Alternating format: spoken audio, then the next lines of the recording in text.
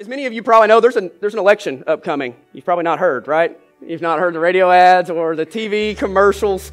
I mean, my goodness, the governor election in our state is one of two. There's only two going on this year. And so that's why, if you've noticed an increase in ads, there's revenue coming in from everywhere, right? You've got the blue and the red really fighting it out. And the media focuses on that. Money streams in from all around. And I think most of us can, can agree that politics has become all consuming in our society.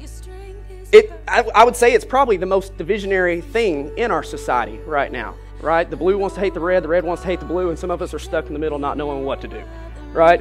I'm not saying that politics this morning, we're not going to preach on politics. We're just framing our thought about worship and what we focus on.